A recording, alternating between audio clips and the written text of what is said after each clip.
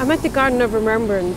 It's International Women's Day, and people have started to gather to march to demand the repeal of the Eighth Amendment. So, I think historically, um, women around the world have always traditionally organised on International Women's Day, have taken to the streets to fight for their rights.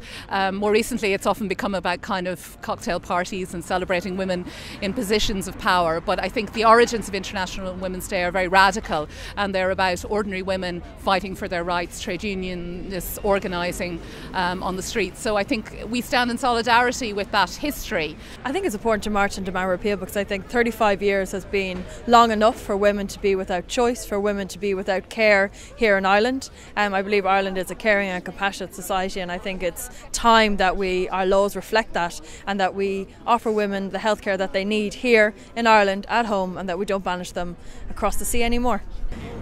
We're marching for several reasons. Obviously, there is a referendum planned at the end for the end of May, um, and we know that, or hopefully, the majority of people in Ireland will vote to repeal the eighth. But the government is currently trying to water down the terms of how that will actually manifest, um, and we think I'm here with the student bloc, and there's a very big sentiment for pro-choice activism rather than just purely activism to repeal the eighth.